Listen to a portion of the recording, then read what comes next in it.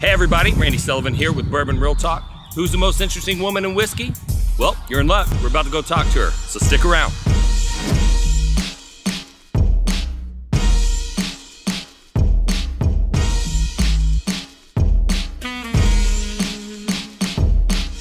So here we are with the most interesting woman in whiskey. Are you comfortable with that title? Yeah. This is Sherrie, uh, currently with Uncle Nearest. Tell the people, like, when did you get started in whiskey? I started in the industry in 1975. I needed money to go to college, and so my great grandmother I wanted me to live with her, and I said, "Well, I need a job and I need money." So uh, she told me I could come live with her, and she was already connected with Jack Daniels. So the next day, they gave me a call, and I had a job. So Right. that's how I started summers and weekends at Jack Daniels. And so, one of the things, like, I don't know if people understand, like, there is whiskey royalty in the United States, right? The, the Russells family, the Beams, obviously, probably the first family of bourbon. Uh, but there's that same sort of rich history in Tennessee whiskey around Lynchburg, Tennessee, and Jack Daniels. And everybody knows Jack Daniels, but Jack Daniels actually wasn't that huge of a whiskey company when it shut down for Prohibition. It really got big under Lem Motlow, Yes. Jack Daniels' nephew, who took over and resurrected the distillery after Prohibition. And who is Lem Motlow to you? He was my uncle. He's been a great uncle, and I'm very proud of him because what I like is he came back after Prohibition. And when people think about a business being shut down for that many years, the equipment not working, and to come back. So one of the things he had to do because uh, Lynchburg was a dry county, he knew he could not get him to vote wet. So he got himself elected to the state senate and got the law changed that you could make whiskey in a dry county. Right. So his first thing was to get the laws changed. Then he started uh, bringing back the distillery. The other thing that I'm very proud is he kept the uh, Lincoln County process, charcoal mellowing, and a lot of places were still were doing that before Prohibition, but after Prohibition, he was the only one that kept that step Wow. in the process. Wow. Now you mentioned that you um, that you were going to live with your grandmother. Who, who was your grandmother? My great grandmother's was Mary Bobo. So I, I grew up around whiskey and good food. Yeah. So I mean, it's not a bad life at all. So, so for those of you who don't know, if you go to Jack Daniels, it, it doesn't matter what tour guide or your friend that loves Jack Daniels. If you say, "Where do I eat when I'm in Lynchburg?" Lynchburg there is only one answer, and it's Miss Mary Bobo's. Miss Mary Bobo. And um, and and so you actually lived there, and you worked there for a little bit when you were a kid, right? Yes, yes. You know, I would try to get up and uh, do the tables. One of the things she did is she always kept a family table. That was part of her contract. The other thing that's kind of fun about her is at 88, she signed a contract with Jack Daniels to serve meals. So her last 14 years were her most profitable. She Wow. lived to be 102. So that was 102. and was making out menus, getting her people schedules. So I had a good role model. So yeah, I don't know what I, I'm going to go to at least 105, at least, at least. She's how old are you now? 63? 64. 64, and she's just hitting her stride. Just hit my stride. Yeah, she's just picking up speed. Y'all better look out because good things are coming. So one of the things that I find interesting about the the world of whiskey is that you know there are those the the upfront positions, Yes. the master distiller, the master blender. Um, everybody knows those people. Yeah. Um, but you know that it takes a lot of the behind the scenes people to really make everything work. And sometimes those people aren't as well known. And that's what made me so interested in you because you've played some very important roles at Jack Daniels. Is that is that fair to say? I think so. What was your title at Jack Daniels when you retired? When I retired, I was director of whiskey operations and assistant vice president. So I had the distillery, charcoal mellowing, uh, sawmill, get rid of the slop. I had processing, and environmental, and quality control for both areas. So my finger was just, uh, you know, on the whiskey, all the process. And to your point, the world needs some nerds in the background. Sure. There is just some nerdy stuff. You know, when I was at Jack, if you asked me what were the barrels like on April 15th, 1988, I could pull out and say we had this many wormholes. Right. We had this many leaks at the crows because all that information you you gather a lot of data because you don't know how important it's going to be. Sure. And you find out it's an interaction on uh, your yield and your maturation, the quality of your barrels. Right. So, but you know, it takes a nerd that wants to keep up with that kind of stuff. Right, right. And and it, just to put it in perspective, I mean, right now most of the bourbon nerds are super into Buffalo Trace products, right? Um, Buffalo Trace is small compared to Jack Daniels. So Jack Daniels is the second largest whiskey producer on planet Earth, next to um, the Scotch. What is it, Yeah. Johnnie Walker? Johnnie Walker. And Johnnie Walker is only a little bit bigger, about 10% bigger. And so you right now are looking at the woman that grew it from what it was in 1975 to what it is today, the second largest whiskey company on planet Earth. And a lot of people don't even know the the, the work that went into all No, of that. no. And that's why I find you so interesting. Your job was to process improvement, Yes. to increase yields, increase production, and all that stuff. What were some of the the projects that you worked on when you were? Well, uh, I did several. One was on barrel yield optimization, Uh-huh. is how to get more yield out of that barrel. Uh huh. And then also taking our existing warehouses and as we were getting ready to do construction, is can we utilize more space in the warehouses? Right. So we had a project, it's called the Buzzard's Roost, and I and I'm not that creative. It just turned out that some of the guys had talked about in the 50s they were running out of space and they started putting some uh, loose boards up on the peak on the seventh floor of the Right. warehouses. So I decided to try it and we put it up there, worked with Mac Manufacturing, you know, because those kind of changes take a lot of nerdy work. Mm-hmm. So uh, we had to get a piece of equipment that would go up four tiers because they're designed for three tiers. So now we need a piece of equipment that could go up higher. Mm-hmm. So we did that one, and then we did one called Extender Rick. And the reason that one is funny is the So one. the, well, I'm gonna. She won't say it, but I'm gonna. I'm gonna. Tell, I'm gonna tell you just so that you know. So she does the whole extender rick project, and she's got people coming in from France to like look around at things, and she finds out that all of the distillery workers have been calling it the the, the extended dick project.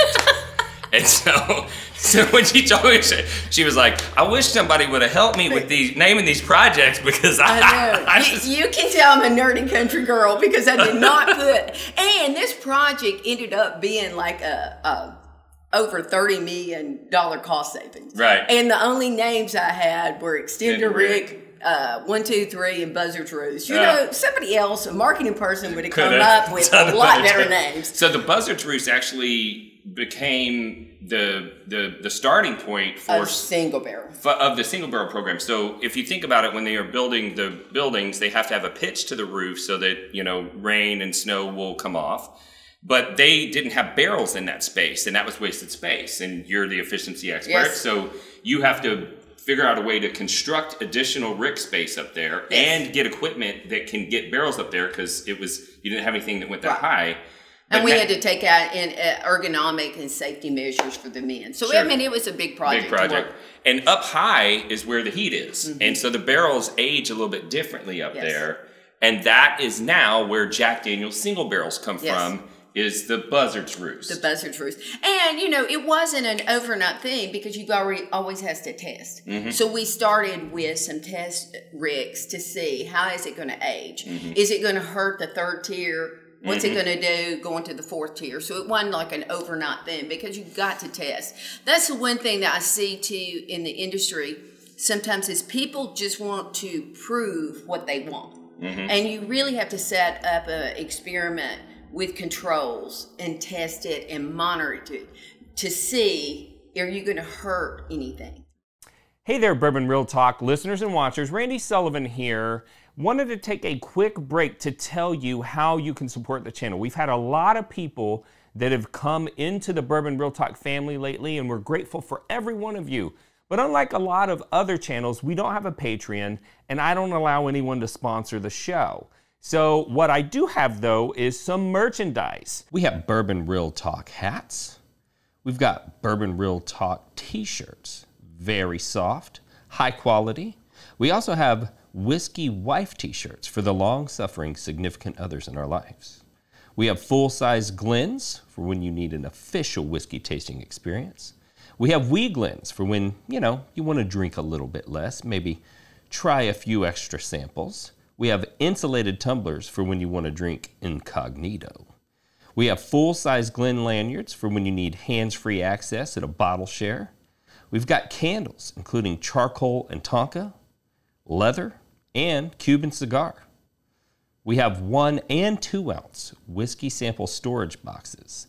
And of course, we have the American Whiskey Aroma Kit for when you want to step your whiskey game up and be able to break a whiskey down to its components. If you saw any of this stuff, you want to support the channel, you can head on over to bourbonrealtalk.com forward slash shop and pick something up. But if you just want to hang out here and learn, I'm totally happy with that as well. Just happy to have you as a listener. Well, you retired from Jack Daniels. Yes, and, I did. Um, but but here you are working. Where are you? Uh, where are you working at now? I am now with Uncle Nearest. Okay. So I had retired and I did nothing for a year, but people don't like to hear doing nothing, so I said I was on a sabbatical. and people give you respect when you're on, On a sabbatical. sabbatical, So right. I took a sabbatical. Yeah. And then I got into real estate. My son's had a concrete company and then I ended up just kind of focusing on real estate. So our article came out in June of 2016, and it was about Uncle Nearest. And Jack Daniels, who released it for their 150th anniversary, and it, that he was uh, the first master distiller for uh, Jack Daniels. Well, that was in June of 2016, and the founders of the company, Keith and Fawn Weaver, were in Lynchburg in uh, the end of August. Well, my cousin, Lynchburg is a small town. So we still get excited when people from California are there. right, right. now, if they're on tour, it's fine, but if they stay over that. So the librarian calls my cousin, who is Lem Motlow's granddaughter, and says, There's people here from California researching uh, the Green family and your family. So my cousin goes over to the library and meets them and told them that the Dan Call farm, where the first whiskey was made and where Uncle Nearest was for sale. And she said, And my cousin is a real estate agent and she knows the Green family. okay. So that's how I met the Weavers on their second day here. And I was the real estate agent that was used to purchase the property. Mm. And so they were going to write a book, had nothing to do with whiskey, just got that connection through my cousin. And then about three months later, they're going, We're going to start a whiskey company. And I go, Oh, mm-hmm. Okay. do you know what I did? so the, one of the jokes is when they first started, they said, "Well, who are you going? to Who do you have that that's going to help on the whiskey?" And they go, "Oh, we're just going to use a real estate agent." And they go, "Don't you have somebody?" You're like, are you crazy?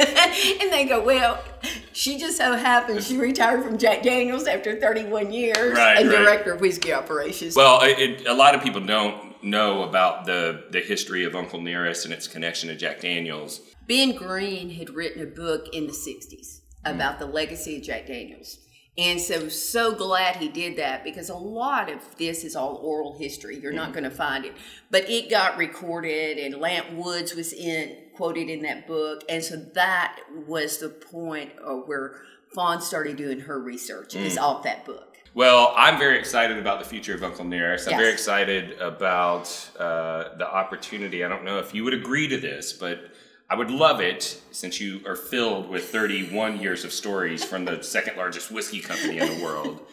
If next time I come to Tennessee, you'll come back on and we can do a story time with Sherrie Yes, series. yes. Okay. Yeah, I've got a lot of stories. Yeah, yeah.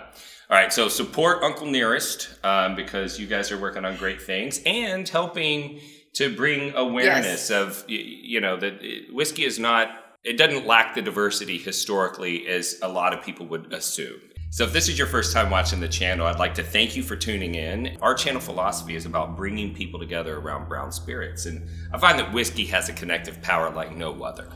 And connecting people to each other is important to me because unfortunately I did lose my brother to suicide in 2014. And it made me realize that there are people all around that could feel, you know, alone. They don't feel loved. They don't feel connected. And since whiskey has that power, I thought, well, maybe I can make a channel that Yeah. gets people connected to whiskey and then the whiskey will do the job for me and get people connected to each other. So that's part of the impetus for this channel. Um, I'll also say that I've seen, especially lately, a lot of hate being shown to each other online over political differences or whatever. It could be religious, whatever it is. And the way I see it is that if somebody can hate you for something that you said online and they don't really know you, it's just as easy for me to love you, even though I don't really know you. Okay. And that's why I end every podcast the same way, and that's this. If you woke up this morning and you were unsure whether or not anyone loved you, just know that I love you. And I'll see you next time on Bourbon Real Talk. Cheers.